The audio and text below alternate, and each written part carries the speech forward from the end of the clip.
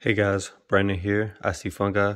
Let's talk agar plates. So this big old box came with 500 and it's best to just go ahead and order in bulk like this. If you order these sleeves of 20, 25, yeah, they might charge you like 10 bucks, but guess what? You're gonna pay like $10 in shipping too. It's just not worth it. Um, it's better to just go ahead and buy in bulk.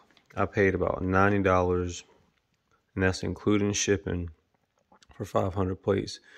You want to make sure that you order it from a scientific website or um, if you have to order minimum qualities right now, make sure you get it from a um, mycological website. If you buy this stuff off Amazon, what's going to happen is these the plastic here is going to um, be compromised. It's going to have holes in it, and then that's going to make your dishes possibly not sterile and you're also going to have cracked plates from poor packaging and cheap plastic. Um, so it's it's just not ideal.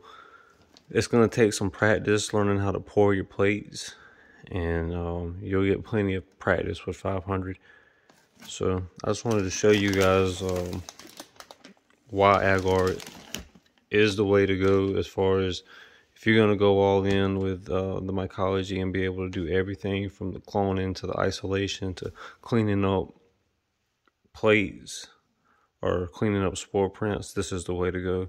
Especially if you don't want a bunch of lab stuff coming to your house all the time. Just do a one and done and get this over with. Not having to deal with people sending you syringes and stuff in the mail. All you need is a spore print. And it lasts way longer than liquid cultures or uh, spore syringes. So, anyways, I'm down to my last hundred. I'll have to make an order soon. Just make sure that you order these from some type of scientific website. Um, these I got off of eBay.